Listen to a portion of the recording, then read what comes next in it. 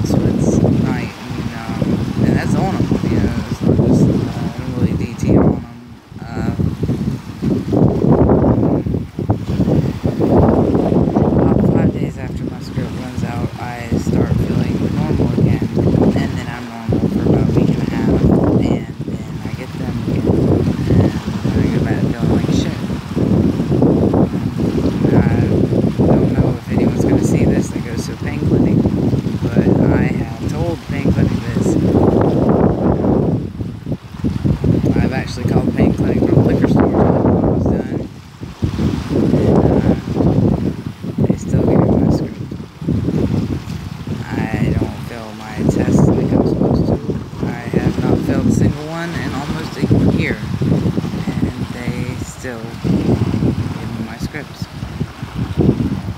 Um, it's a money racket, it's a business, it is not about helping anyone.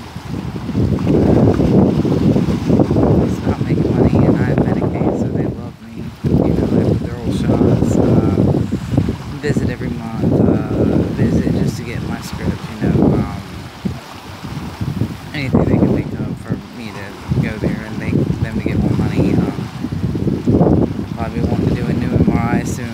x-rays or CAT scan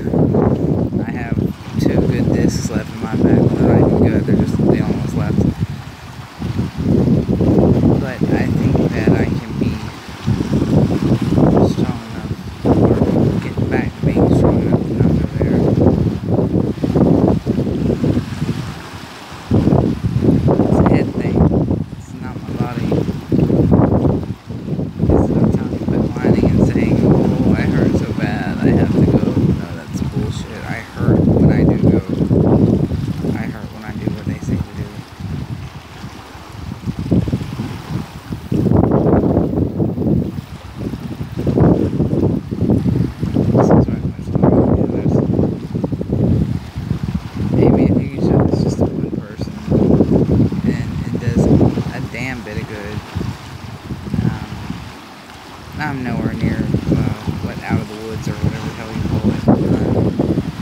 Uh, at least I'm thinking about it, which is more than I thought I ever could.